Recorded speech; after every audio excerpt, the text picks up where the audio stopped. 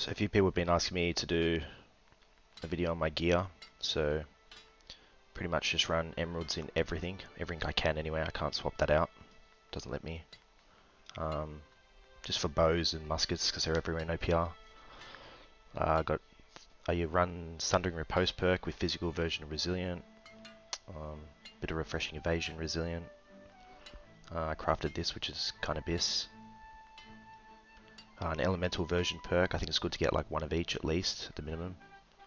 Uh, there's cripple powder burn, and your shooter stance. That's a pretty bis item as well. Um, for my amulet, I run health, thrust, protect, and purify. I think purify is pretty bis because it like helps you get out. It's like an underrated perk because it get lets you get out of um like sword and shield stuns or any sort of like hundred to zero combinations.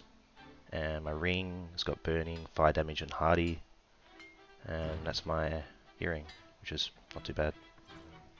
And then for my musket I run Flame Attunement Enchanted. The other perk doesn't matter too much, but yeah, that's pretty much already better than Infamy.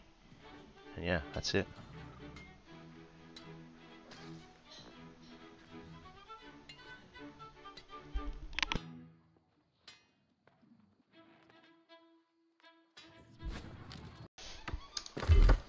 So for my attributes, I run 300 dex, um, 165 int, and 50 con.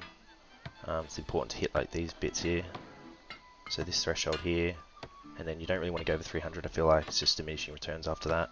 So once you hit 50 con, any extra points you, you just put into int. And um, it's nice to get the 50 con because then you get 20% um, stronger for like your health potions and that. Um, for my weapons, I sort of go this layout for Rapier. It's a bit more like an aggressive layout, like without the, the swiftness. I get these like perks here, just because I, I play a bit aggressive with the Rapier. And this is my layout for the musket.